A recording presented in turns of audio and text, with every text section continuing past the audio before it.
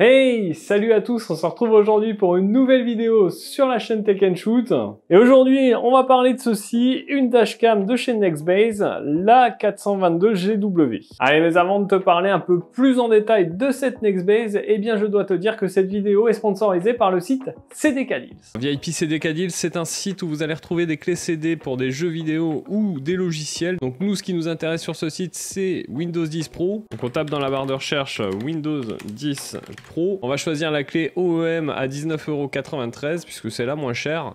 Une fois que vous avez ajouté cette clé dans votre panier, vous arrivez sur cette page. Là, ici, vous avez un petit emplacement pour un code promo code promo que je vous ai dégoté qui vous donne 30% de réduction. Ce code il est simple, vous rentrez TST20 et là votre clé passe à 13,95€ au lieu de 19,93€. Donc ensuite vous avez la possibilité de payer via différents modes de paiement et donc une fois que votre commande sera traitée, votre clé Windows 10 s'affichera ici dans votre centre utilisateur. Ensuite, il suffira d'aller l'activer dans Windows. Je précise que si vous prenez une clé Windows 10 Pro, il faudra auparavant installer Windows 10 Pro que vous retrouverez en téléchargement sur le site de Microsoft. Allez, merci encore à CDK d'avoir sponsorisé cette vidéo. On se retrouve tout de suite pour la suite. Allez, après cette petite partie sponsor, revenons à ce qui vous intéresse, cette Nextbase K122 GW. Donc c'est une dashcam qu'on retrouve au prix de 199 euros en ce moment sur Amazon. Je vous mettrai un lien affilié dans la description. Le prix habituel est 220 euros. Et on va voir ensemble dans cette vidéo, eh bien, si elle vaut le coup ou pas. Alors vous le savez, si vous me suivez depuis un petit moment, j'ai déjà fait plusieurs vidéos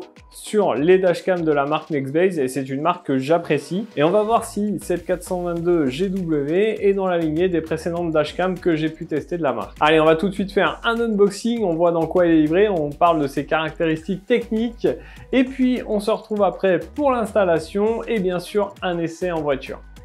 Allez, on se retrouve pour faire l'unboxing de cette Nextbase 422 GW. Donc celle-ci vous arrive dans cette boîte, on a la marque ici, le modèle, la dashcam en photo.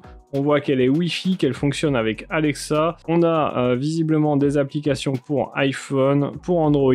Elle est compatible avec euh, les euh, autres modules caméra. Comme je vous l'avais présenté dans la précédente vidéo, je vous la mettrai ici, hein, la vidéo, que vous voyez ce qu'on peut faire avec ces dashcams. À l'arrière de la boîte, on va retrouver les principales caractéristiques qui sont mises en avant avec une petite traduction en français. Et voilà un petit peu pour le tour de la boîte. À l'intérieur de la boîte, on découvre un autocollant à coller sur votre voiture pour préciser que bah, elle est protégée via dashcam. On a un petit livret ici avec une partie en français qui nous dit de bien vérifier de mettre à jour le firmware de la caméra. On a un petit guide rapide d'utilisation en anglais, mais avec euh, pas mal de dessins, donc euh, vous devriez comprendre sans aucun souci. On retrouve ensuite bien sûr notre dashcam, hein, je vais vous la détailler après. Et ici sur le côté, on retrouve euh, le petit support de fixation avec ici du scotch 3M pour la fixer sur votre pare-brise. On a ensuite le câble allume-cigare pour l'alimenter. Un support de fixation de rechange quand le scotch ne collera plus, ça c'est plutôt cool. Ici, un petit passe-câble pour faire passer vos câbles lors de l'installation. Et enfin, un câble USB vers euh, micro USB pour euh, télécharger les données de votre dashcam. Alors, notre dashcam, la voici. Donc, quelle est la particularité de ce modèle 422 GW Eh bien déjà, c'est qu'on est, euh, sur du 1440p en 30 fps, donc une belle qualité vidéo. On peut avoir aussi du 1080p en 60 fps. On a une vision de nuit. Elle fonctionne visiblement avec Alexa, donc on verra à l'utilisation comment ça marche. On a un angle de vue de 140 degrés. À l'arrière, on va retrouver un écran de 2,5 pouces. C'est une dalle IPS tactile. Notre dashcam le Wi-Fi intégré, le Bluetooth 4.2. Ici, on retrouve un bouton. On a ce qui paraît des micros. Ici, on verra. Euh, donc peut-être qu'on peut lui parler euh, via Alexa. Ici, un bouton power, l'emplacement pour la carte micro SD. En dessous, on va retrouver des haut-parleurs, un petit bouton reset et sur le dessus, la prise USB pour la connecter et ce qui ressemble à un haut-parleur. Alors la cam n'ayant pas de batterie, je l'ai branchée, on va la démarrer. Voilà, donc on peut voir Nextbase, donc Access File Power On ou Firmware Update. Là, on va se mettre en power on histoire de la configurer. Donc vous voyez, l'écran tactile fonctionne plutôt bien. Alors, donc, on est en Europe. Alors, on va choisir la France. hein. Nous, on est en kilomètres heure. Donc là, vous voyez euh, qu'on doit la connecter à notre téléphone pour activer Alexa, etc. Donc là, ils nous disent de télécharger My Nextbase Connect. Donc moi, je l'ai déjà téléchargé. Hop, suivant.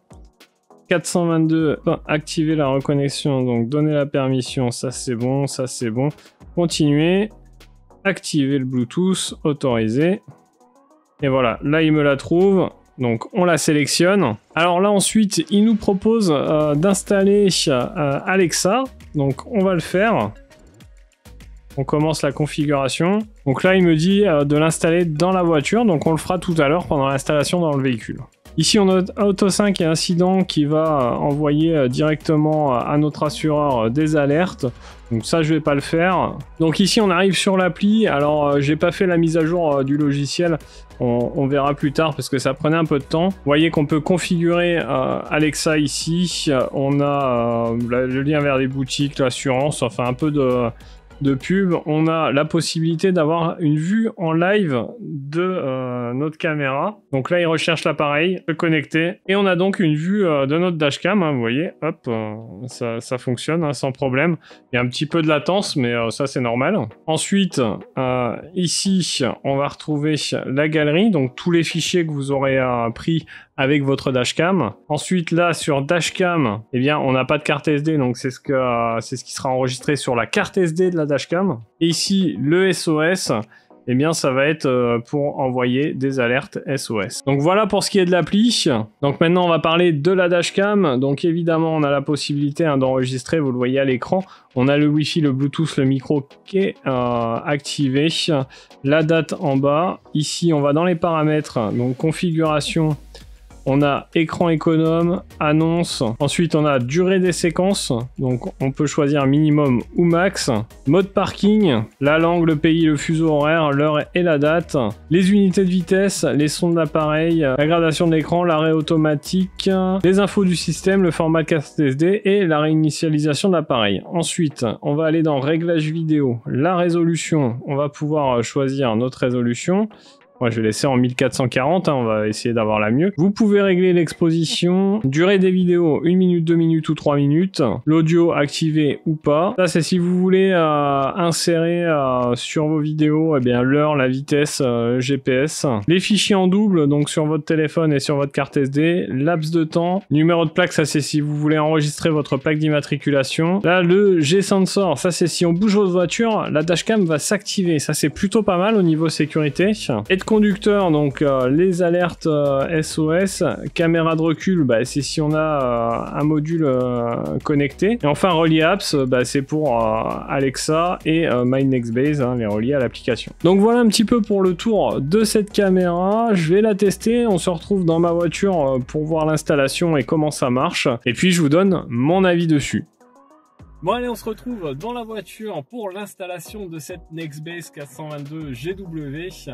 Donc pour l'installation, rien de bien compliqué, je l'ai juste accroché à mon pare-brise, j'ai branché la prise allume-cigare et rien d'autre à faire. Ensuite, euh, pour ce qui est de Alexa, d'Amazon Alexa, euh, j'ai réussi à l'associer euh, avec le téléphone à ma dashcam. Par contre, j'arrive pas à la contrôler. Euh, donc, euh, donc soit il y a quelque chose que je fais mal, soit euh, c'est encore pas très au point.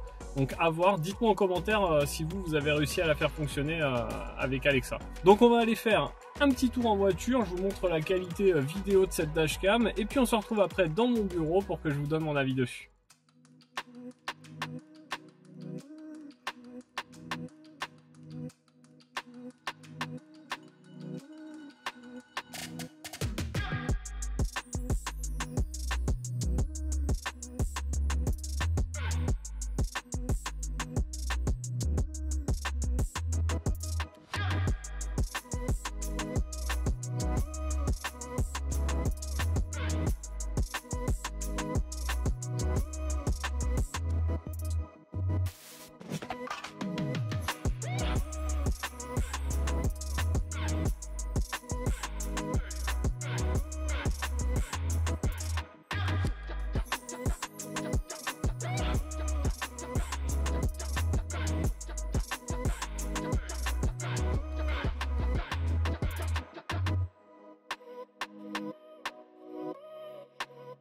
Bon alors vous l'avez vu, cette balade s'est déroulée nuit, j'ai eu quelques soucis techniques euh, dans le tournage, donc vous avez eu une partie euh, au smartphone tournée euh, deux jours, la balade de nuit, mais ça permettait aussi de voir ben, comment se déroule cette Nextbase 422 GW de nuit. Donc vous l'aurez vu, eh bien la caméra a une très bonne qualité vidéo, comme les précédentes dashcam que j'ai pu tester de la marque, sur ça pas de soucis. Alors par contre, ben, de nuit c'était bien parce que ça permettait de voir aussi si on voyait les plaques des voitures.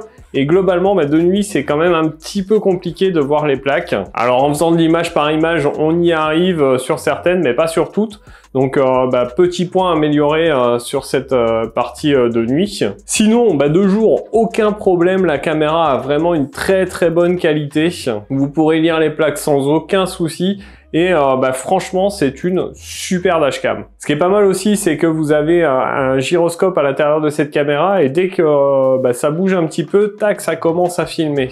Donc ça, c'est pas mal si vous laissez la caméra, par exemple, la nuit dans votre véhicule. Et eh bien, si quelqu'un touche votre voiture, il y a moyen euh, que la caméra filme et, euh, et donc c'est vraiment intéressant au niveau sécurité. Bien sûr, euh, cette fonction, vous avez un, réglage de sensibilité, vous l'avez vu dans l'unboxing, et donc bah, en fonction du réglage que vous mettez, forcément ça déclenchera plus ou moins facilement. Donc cette dashcam, cette Nextbase 422 GW, eh bien, euh, j'en suis très content. Les points positifs de cette caméra, c'est bien sûr sa qualité vidéo. Le fait aussi qu'on puisse brancher une caméra arrière, elle est disponible. Je vous l'avais montré euh, dans la précédente vidéo Nextbase que je vous mettrai ici ou là. Ça, c'est euh, également un point positif. On a un petit scotch de rechange, une petite fixation de rechange pour euh, quand euh, le, le, soleil aura euh, trop bouffé la colle et, du coup ça tiendra plus bien. Donc ça c'est pas mal aussi. Et globalement on a une belle qualité de finition. Les points négatifs eh bien vous l'avez compris de nuit un petit peu compliqué de lire les plaques. Donc ça c'est un point amélioré. Et sinon bah, j'ai pas trouvé beaucoup d'autres soucis sur cette caméra. Donc évidemment vous l'aurez compris c'est une dashcam que je peux vous conseiller. Donc voilà pour cette vidéo sur la Nextbase 422 GW j'espère qu'elle vous aura plu. Si c'est le cas n'hésitez pas à mettre votre plus gros pouce bleu en dessous de la vidéo. N'oubliez pas aussi de vous abonner à la chaîne et de cliquer sur la cloche pour recevoir une notification à chaque fois que je publie du contenu. Vous le savez, c'est le lundi, mercredi ou samedi. En tout cas, si vous le saviez pas, maintenant vous le savez. Et nous, on se retrouve dans une prochaine vidéo. En attendant, prenez soin de vous. À plus et bon shoot